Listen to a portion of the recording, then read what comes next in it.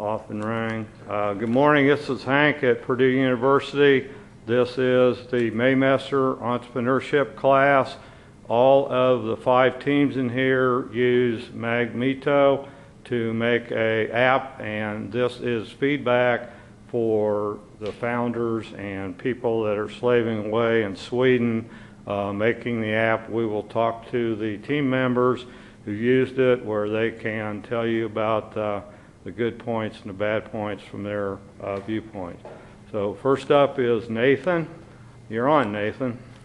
I thought the Magmitos makes it very easy to make an app, uh, makes the publishing process seamless, and uh, have no complaints. I, th- I think it's very intuitive and user friendly.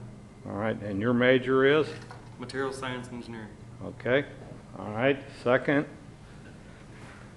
Uh, I like the app a lot, but there's one thing I'd like to see changed, which is uh, giving flexibility to the first page. I mean, in the first page you can only put your header and the points.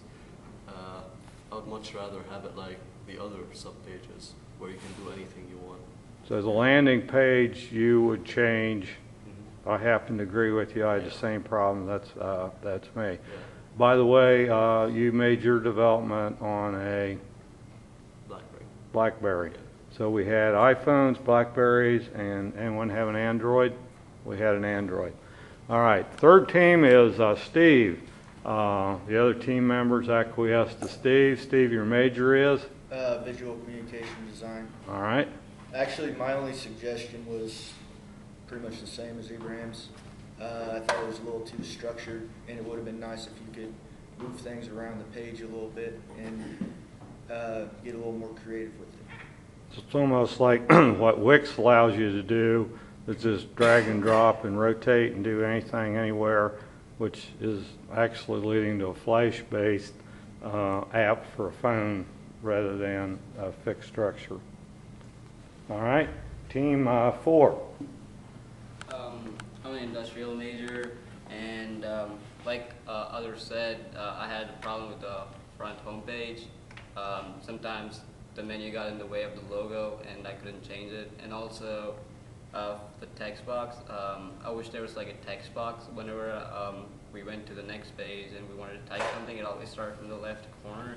And if I wanted, if there was a text box, and if I wanted wanted just in one corner, that would be pretty useful. And uh, the previous section for me was a little messed messed up because whenever I opened this, the thing on my Android, uh, it wasn't the same format. Even though there's a preview section, it was completely different the alignment. So that took a while to figure out.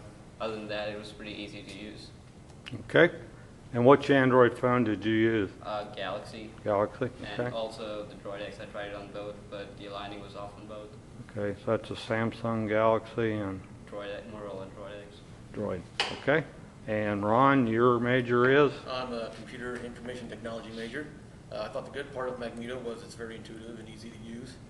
Um, bad parts was, for some reason, maybe this was just me, I couldn't seem to change the font um, of the bullet points on the front page. I was trying to find a way to do that. Um, I couldn't.